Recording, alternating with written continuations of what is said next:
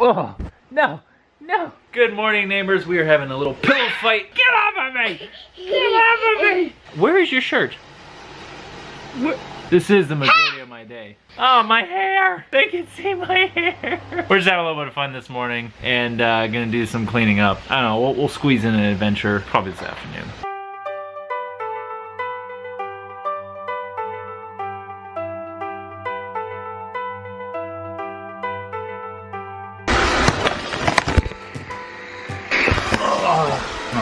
That didn't last long. Speaking of cleaning up, you remember we blew up all these balloons and just filled up Henry's room with them? They're still just hanging out. It's kind of time to like get rid of them because he doesn't really play with them as much anymore. But I know if I get rid of all of them all at once, he's gonna get really mad. So I'm gonna try today to kind of just like slowly get rid of like a little bit at a time. So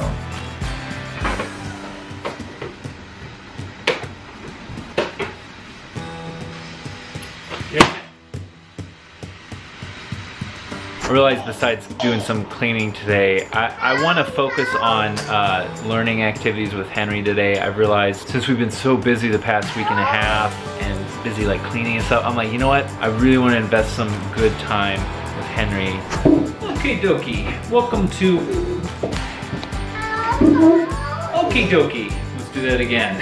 Today, we are going to be learning about dinosaurs. What is your favorite dinosaur? The one that's just sitting right in front of you? This one, the Megalosaurus. Megalosaurus is famous for having been the first dinosaur to be scientifically described and named. It's cool. Which one of these is a Stegosaurus? Yes! You got it! It does have spikes on its back. You did it! That one? That one is called the, I need to figure out the pronunciation. Parasaurolophus. Parasaurolophus. Parasaurolophus. It means duck-billed. Which of these is the Ankylosaurus? a Yes, Ankylosaurus has the bones on his tail. Can you find one with bones on his tail? Uh, uh, uh, I want that one. Yeah, you got it. Here you go. Okay, put it in your pile. Can you find the T-Rex? Really big T-Rex. Can you find it? Yeah, right. Right here. Yes, you got it. Do you want to keep doing dinosaurs or do you want to learn something new? Um, no. You want to learn something new? Okay, let's move on to something new. From one to two. Okay, go two all the way down to three. Uh, okay, well you did three to four. Can you go from four to one? Yeah. Four to one, from down here to up here? Good. Two. Yeah. Look it. See how you made the square? See the little square? Oh, I thought we were learning. Ow.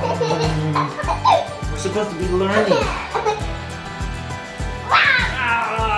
I don't know if we've really like talked about it, but our, our plan is to homeschool Henry. But even still, we're he's like two years away from like really would be officially starting kindergarten. So up until that point, what I really want to focus on is just kind of self-guided play and learning and exploring and just seeing what he's curious and interested in. Not really having a curriculum and kind of jamming it down its throat, but just kind of let, you know, just let free play lead into curiosity and lead into learning and exploration. But I, I, I know that without some kind of structure, we typically end up using the iPad or not doing anything very constructive. So, because I'm new at this, I'm very new at this. If you have any ideas of like little science experiments or little activities around the house, especially with with the baby coming up, even for my own sanity, finding like other different things to do other than puzzles and I don't know. Henry, I figured out what we can do. So, do you remember when we got these? Do you know what these are for? What do we make with these? They're called popsicles. Yeah, and since it's so hot, do you want to make some homemade popsicles? Yeah.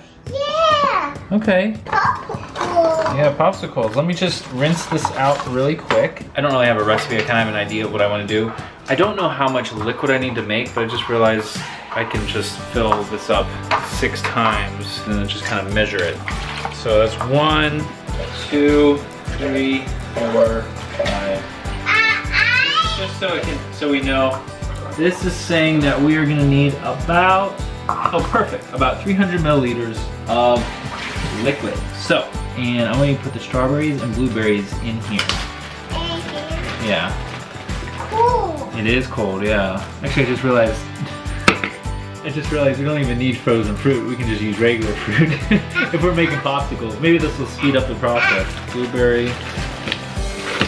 Okay, so there's all of that. We need to add some Greek yogurt into it, okay? I, I want you want to eat this? Yeah. Can you help me pour this in?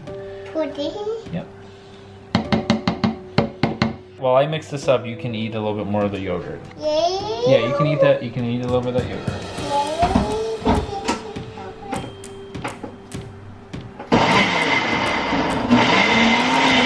It's really hard to tell, but that looks like it might be enough. We'll see, okay, Hen?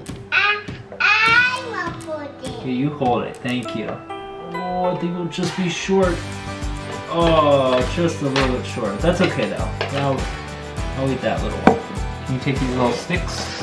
What I want you to do is take them, and we're just gonna put them right inside like this, Hen. Put one in.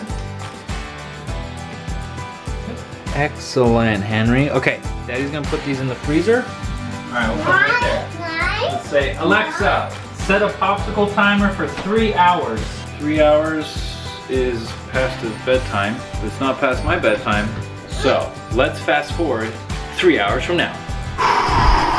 Whoa, been three hours. I'm gonna test them out. Henry's just went to sleep, so he's gonna, he can try them out tomorrow morning, but I'm a little too excited. I made a yummy dinner and I want something sweet.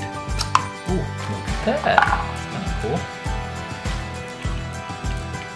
Mm, it's a popsicle texture, but not as sweet as I'd like it to be. So probably should have added honey. It's still a, a nice little frozen snack on a hot evening. So thanks again, neighbor, for following along this weird adventure today. I know we were kind of all over the place, but thanks for sticking with us. So don't forget to make your own adventure, and we will see you again bright and early tomorrow morning. Bye bye. Hey Henry. It's Daddy.